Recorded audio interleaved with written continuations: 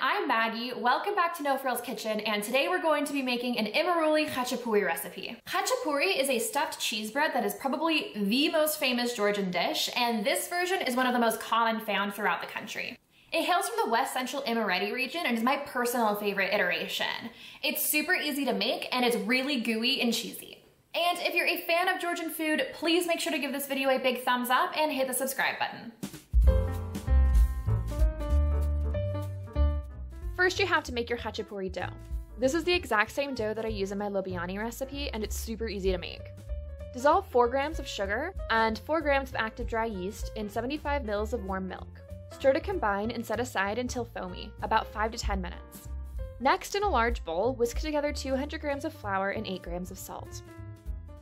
Make a well in the center of the flour and crack in one room temperature egg, 15 mils of oil, and your milk and yeast mixture.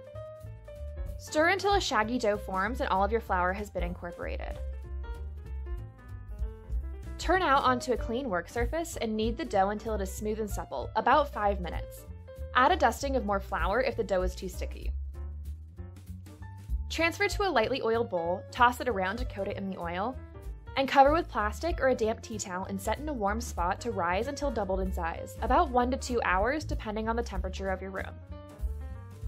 When your dough is about to finish its rise, it's time to make your filling. Grate 200 grams of Imeruli cheese and 100 grams of Sulguni cheese on the large holes of a box grater and then transfer to a bowl. And make sure to feed any stray pieces to your dedicated partner slash cameraman. If you can't find these cheeses, you can sub in an equal amount of feta for the Imeruli and low moisture mozzarella for the Sulguni. Crack in an egg and mix together until well combined. Set aside. Now, gently punch down your dough and turn it out onto a lightly floured work surface. Using a rolling pin, roll it out into a circle until it reaches about 25 centimeters in diameter and about 5 millimeters thick. Pile the cheese in the middle, leaving at least an 8 centimeter perimeter of dough. Pat the cheese into a disc, ensuring that it's of even thickness. Fold the dough over the cheese mixture, pleating and pinching to ensure that the filling is completely sealed in. Gently roll over with your rolling pin to seal it further. Then flip it over and continue to roll out your khachapuri until it reaches about 30 centimeters in diameter. Using a sharp knife, cut four 2.5 centimeter long steam vents in the dough.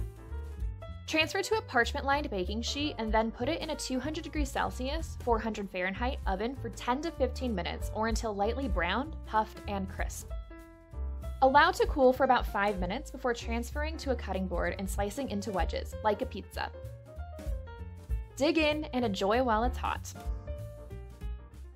And that's how you make Imeruli Khachapuri. As you can see, it's really easy and there's no way you can go wrong with a combination of bread and cheese. Let me know in the comments which Georgian recipes you want to see next, and if you like the video, please give it a big thumbs up and hit the subscribe button so you don't miss my next videos.